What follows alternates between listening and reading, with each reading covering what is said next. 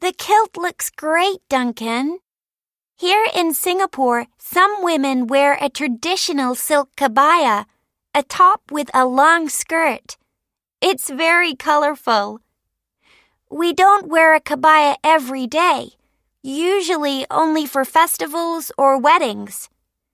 Here's a photo of my aunt wearing a kebaya at her friend's wedding last year.